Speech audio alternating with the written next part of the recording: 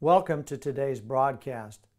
No matter what kind of day you are having, please remember that God is big and He is good. He is bigger and better than you think.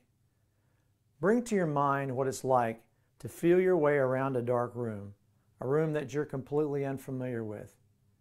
You know there must be some way to turn on the lights so you can make sense of your surroundings, but until you find that switch, you just bounce from one object to another. You wouldn't even consider trying to learn to navigate that room in the dark. You would insist on first finding the light switch. But we do not insist on first finding the light switch before trying to navigate our way through our life here on this earth. No, we try to learn to navigate in the dark. And we treat this moving around in the dark as if it is faith.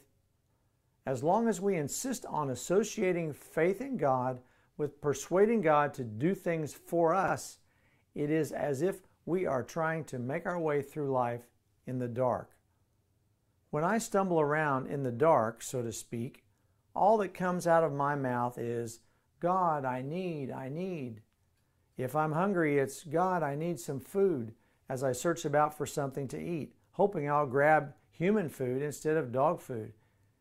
If I need to get out of a storm, it's, God, I need some shelter as I run around looking for someplace dry, hoping I'll find a place of safety instead of a place of danger stumbling around in the dark, bouncing from one circumstance to another, crying out to God, I need, I need, is not faith.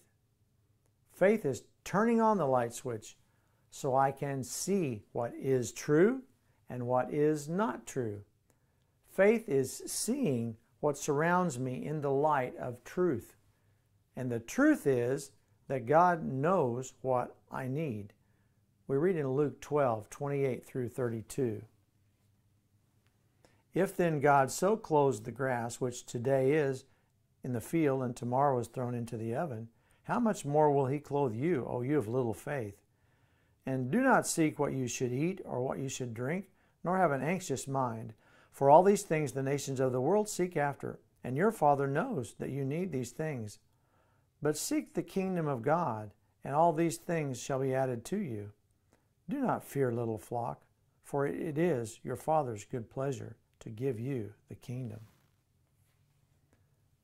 And your Father knows that you need these things is one of the most important principles you can ever learn. To get to the place where you know that you know that God knows you have need of all these things, to get there changes everything. For more, please visit givethatmountain.org and you have a wonderful day.